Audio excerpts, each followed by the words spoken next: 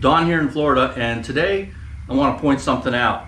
When I take this drill chuck and I insert it into the tailstock of my Monarch lathe here, I can turn it slightly, but then it locks up. The reason being is that this tang has a slot that it sits into inside the internal taper of this. So when you insert it in, if it does start to twist a little bit, it'll lock in to that slot. Okay, this is the adapter for my mill. It's a R8 to MT2. It as well, when you insert the chuck in, it goes in, at a certain point it locks in right there and it will not turn. It's locked. And this is really handy because sometimes if these tapers come just a little bit loose, it'll cause the entire chuck to spin or even it fall out for that matter. So that's no fun. Over on the Atlas lathe, I don't have this luxury. The Craftsman Atlas being a, a lower end machine, they didn't bother to put that slot in there. So even though you have that tang on there, when you're inserted in, this chuck can just freely spin around in there. Now, a month or so back, I created this tailstock torque bar, which is really good, and it keeps this entire unit from twisting. And where this really saves is on the pin right here that keeps this internal taper from twisting back and forth. Literally that pin is being saved from total destruction when I get uh, crazy on this machine. But I don't always want to hook this up. I don't always want to set this up on here um, unless I'm doing really, really heavy cuts. And in most cases, if I'm doing really heavy cuts, I'm going to go over on the Monarch anyway. So what I'd like to do is I'd like to take and modify this so that we can go ahead and put things like our chuck and our our threading tool on here and not have to worry about it slipping around in there. So this tailstock, when you have the tool inserted, you have to crank it all the way back and it uses the end of the screw here to knock it out. So we have to be real careful how we set this up. So let's go over there, let's take this out, go over there on the bench and see what we can do. Okay, so here's the internal taper taken out and looking it over. It's really not in too bad a condition. This is the threaded hole that the uh, handles turns in and out and brings it in and out like this. And so this goes up through here and it pushes on the back of this to cause it to pop out. So my idea is this. Why don't we create an interference inside here on each side and we can use some grub screws, one on each side, and use those so that when this goes in, it creates a slot so that tang can sit into it and we'll keep it from turning just like it does on the Monarch. I think this will be fairly easy to do. The one thing we have to be careful with is this though. This screw has a diameter of, let me, I wrote it down here, 0.475. And the diameter of this at the very bottom is 0.595. So if we take the remainder of that and divide it by two, the amount that the grub screw can turn in here, we've only got 60 thousandths that we can play with on each side. So I think that'll actually work because all we actually have to do is create an interference fit in there. And even on the Monarch, it does turn just a little bit before it locks in. So I'm sure it's set up similar on that as well. So let's go ahead and take this and modify it. I think we can uh, be safe by finding the correct depth on here by marking it out. Let's do two of these so we know that we're the same on each one, and I'm sure it is because it's an MT2.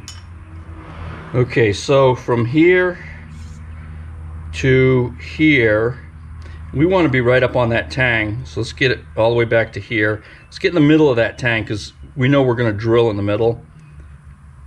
Is uh, 2.521 and the same for this 2.521. So it would be safe to assume that measuring from the front here to that point would be where we want that uh, hole drilled. So let's line that up, yeah.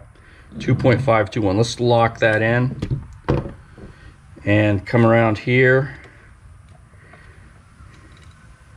And we'll we'll put this in the mill and get a little bit more accurate. I'm just going to make a mark on here for now.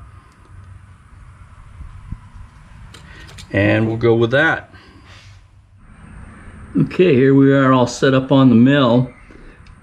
The groove right here that that pin rides in when it's in the tailstock actually creates a nice flat spot to make sure that this is square in here and then I used a couple of V-blocks to hold it all tight in here. We're going to use a mill just to make a slight flat spot right there before we start drilling just to ensure we have no wandering because I'm sure this is probably pretty hard so let's go ahead and start.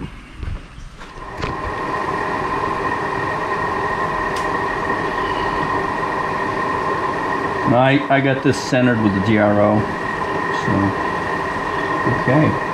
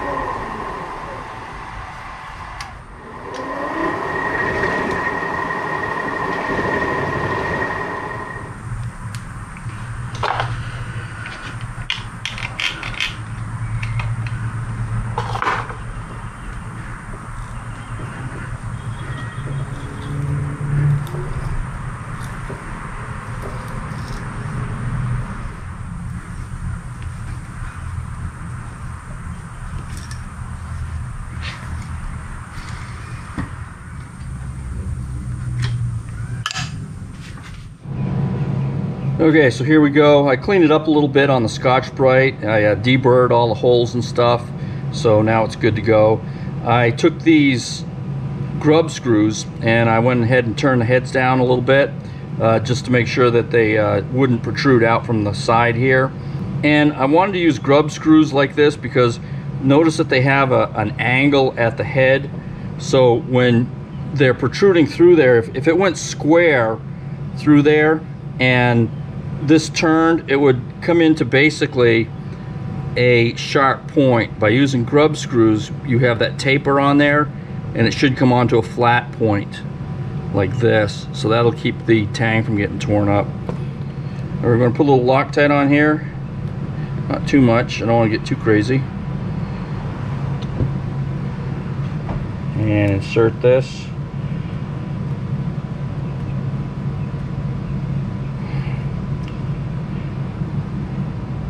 And we need to have it come through here uh, 60 thousandths so I, I'm going to look through there and I'm just going to kind of gauge it as I do this.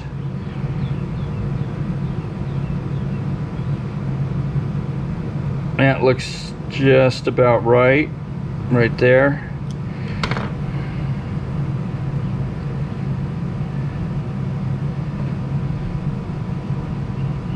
And we'll insert this and yep it locks right against there locks right up. The big question though is uh, is it going to miss the screw? So let's go ahead and take it on over there and uh, put it in and see what happens. Okay so let's uh, check this out. Uh, notice that the uh, numbers are much more visible now that I've cleaned this up. And okay, goes right down past the screw, so I'm happy about that.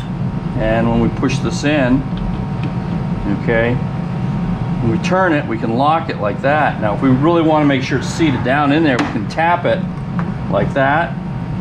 And there we go, we have it locked in. And let's see if she'll come out. Bam, yes it will, just like that. So, pretty pleased with that setup. I think it's gonna work just fine. I wish I had something to, to try it out on it, I would guarantee that it would try to slip on, but I don't have anything like that at the moment. So, uh, I guess that's about it. All right, well that was a nice simple little upgrade to my Atlas. I, I think she'll turn on par with my Monarch now. but uh, really, I mean, that's probably something that would add a few more dollars to a, a lower end lathe, and that's why they're not done. But uh, upgrading it yourself, I mean, it only took me a few minutes, so you might want to consider that if you have an issue with your tools slipping in there. So I'm uh, really pleased I did that because I, I do end up with a lot of stuff uh, starting to slip, especially sometimes when I'm, I'm drilling or something and I pull back and it, it unseats it slightly and then it just wants to slip in there and you know you know how that is. So anyway i'm glad i did it and uh, i guess that's about it. As always from florida don out